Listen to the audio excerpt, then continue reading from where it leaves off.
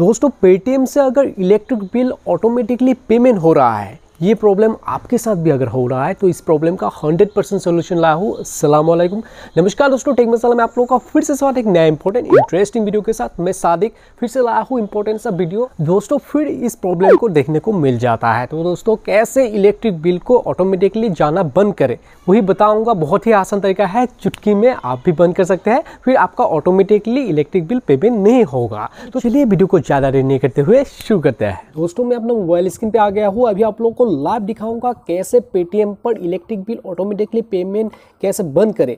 Automatically अगर payment हो रहा है तो कैसे बंद करें? इस वीडियो में अभी आपको सीखने को मिल जाएगा, लेकिन इस ट्रिक को सीखने से पहले आप लोगों को काम करना है, एक स्मॉल सा रिक्वेस्ट है। जो वीडियो आप देख रहे हैं, मेरे दोस्तों, उस वीडियो को देना है सबसे पहले लाइक और वीडियो के साइड में देखिए लाल कलर का सब्सक्राइब का बटन मिलेगा, इस पर आपको क्लिक कर देना है। फिर देखिए घंटे आएगा, इसको प्रेस करके ऑल में दबा देना। और दोस्तों, यहाँ नीचे ऐड पर एक प्यारा सा कमेंट कर देना, और कोई भी प्रॉब्लम हो, कोई भी नया ट्रिक सीखना है आप कॉमेंट में बता सकते हैं। मैं इसके ऊपर वीडियो बनाऊँगा। तो आपको क्या करना है? आपको अपना पेटीएम को ओपन करना है। पेटीएम एप्लीकेशन को ओपन करना है। पेटीएम को ओपन करते ही देखिए ऐसा इंटरफेस आ जाएगा। फिर आपको यहाँ पर देखिए, जो हम लोग इलेक्ट्रिक बिल पेमेंट करते हैं, नीचे आने के बाद आपको मिल जाता है इलेक्ट्रिक बिल इलेक्ट्रिक बिल वाला ऑप्शन पे आपको क्लिक करना है। क्लिक करने के बाद देखिए ऐसा इंटरफेस आ जाएगा। ऐसा आने पर आपको इसे कट कर देना है। फिर यहाँ पर पहले दिखने को मिल जाएगा, जो लास्ट आपने इलेक्ट्रिक बिल पेमेंट किया था, वो सेव हो गया है। वो ऑटोमेटिकली अभी पेमेंट हो रहा है तो ऐसा आपका भी दिखाएगा। देखिए, नीचे देखिए मैनेज ऑटोमेटिक पेमेंट्स ऐसा आएगा, आपको क्या करना है, सबसे पहले क्या करना है, आपको ये देखिए, नीचे देखिए मैनेज ऑटोमेटिकली पेमेंट इस पर आपको क्लिक करना है। देखिए नीचे मैनेज ऑटोमेटिक पेमेंट इस पर क्लिक करना है।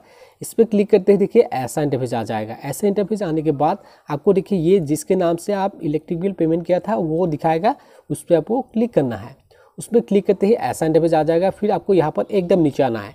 एकदम नीचे आने के बाद यहाँ पर आपको देखने को मिल जाएगा। ढेर सा ऑप्शन आएगा। आपको एकदम नीचे मिल जाएगा।